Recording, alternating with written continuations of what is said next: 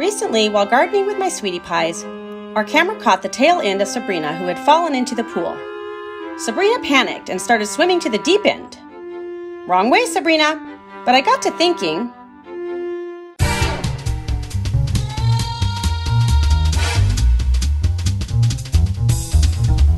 Could I get my sweetie pies to like water and even to learn to swim?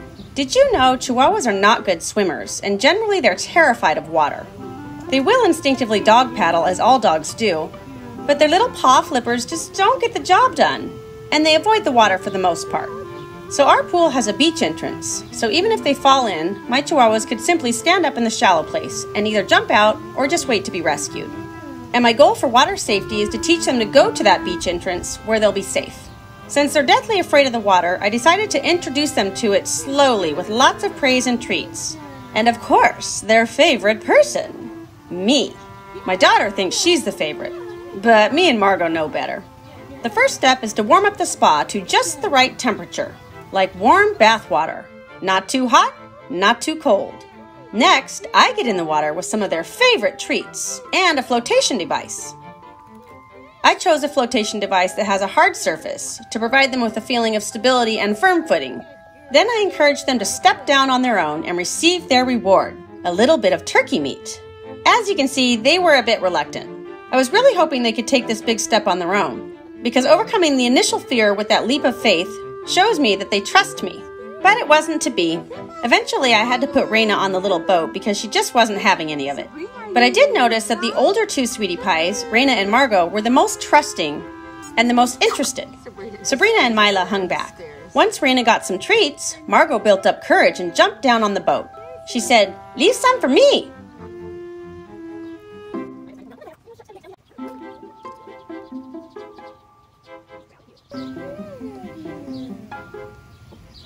After much encouragement and treats and praise, I got all the girls onto the floaty where we spent some quality time together.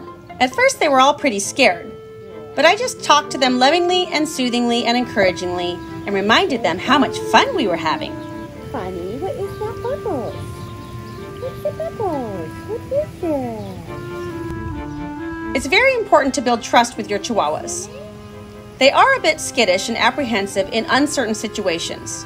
So it's a slow process, but just stick with it. With any obedience training, it's important to do it slowly and at their pace. Don't rush them. Do not, I repeat, do not just throw them in the water. That will only serve to terrify them. Fear is not the goal here, trust is. Your sweetie pie needs to trust you as the pack leader.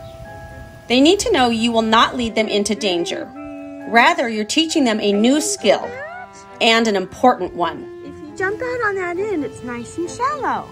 You could just walk. You can wade in the water. Wade in the water. Uh oh, it's taking on water. Go out that way. Just turn around. Good girl, Mila. Good girl. Mila, are you seriously too fat to jump? Keep the treats and the praise flowing freely, especially with activities they generally avoid, such as water. The last part of the exercise is simply letting each one jump out of the shallow end. Ideally, once they know how, they'll never forget. Margo and Reina had no problem jumping out.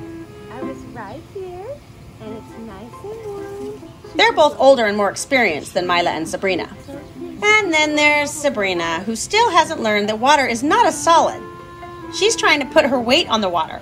She's pushing against the water and she seems confused why it's not supporting her weight. Eventually, I had to help her out. It's like they think that they can't jump off the bottom step. And then there's Mila. Mila has a wee bit of a problem with her belly.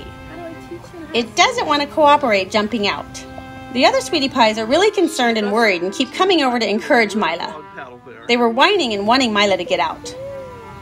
I had to help her a bit. It's okay, Mila. We're working on that belly. All the more reason to learn to love swimming, right? I decided to stop there for now. It was a good start.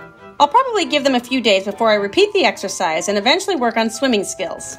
But we'll save that for another day. Today is just learning that the shallow end is where you want to be if you do ever fall in the pool. I hope you guys enjoyed watching my sweetie pies learn how to not be afraid of the water. We're going to keep working with them on this and we will hopefully post more videos on their progress in the future. Please don't forget to like, comment, subscribe, and share my videos on all your social media platforms. Thanks so much, you guys. I will see you next time on Sweetie Pie Pets. Bye bye.